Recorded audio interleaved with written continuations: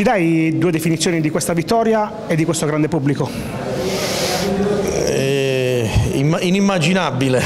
inimmaginabile pensare che dopo tre partite probabilmente avessimo sette punti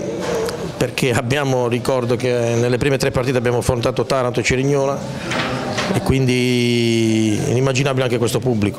Eh, vedere da settembre una tribuna così piena stracolma e, e qualcosa di, di, di, strano perché poi Bitonto è sempre ho visto tanta gente nuova anche ieri e gli altri giorni dopo la vittoria col Bari ho visto molta gente che non veniva al campo da tanto tempo che per curiosità voleva avvicinarsi e penso sia stato anche questo ma poi è stato un trascinante, anche in 10 il Cerignola ha dimostrato di essere squadra, ma grazie anche al supporto del pubblico i ragazzi hanno ripreso poi la partita in mano. Gran finale, gran carattere, perché a un certo punto le energie non erano tantissime in virtù della gara di Coppa di mercoledì.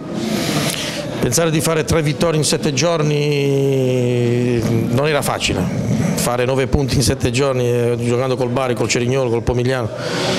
è chiaro c'è stato, dopo, stato quel, subito dopo sono rimasti in 10 è vero però c'è stato subito il rigore. Mentalmente spesso rimanere in 10 aiuta anche a essere più compatti quindi non è la prima volta che una squadra in 10 rimonta o addirittura, o addirittura poi vince le partite perché comunque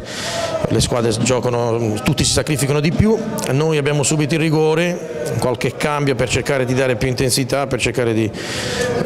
devo dire che l'autorità ha fatto un gran gol ma eh, i ragazzi insomma lo metto un po' a sinistra un po' a destra abbiamo modo di vedere c'ha grandi mezzi in fase di finalizzazione ha spesso giocato in eccellenza però è un giocatore che ha dimostrato che può starci anche in Serie D come altri giocatori della mia, della mia squadra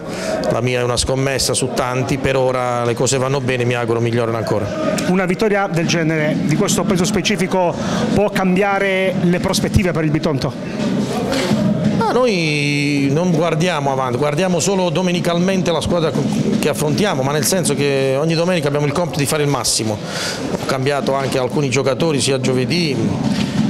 dimostrare sempre di essere prima di tutto un gruppo. È chiaro, poi i singoli, abbiamo fatto anche tanti gol in queste,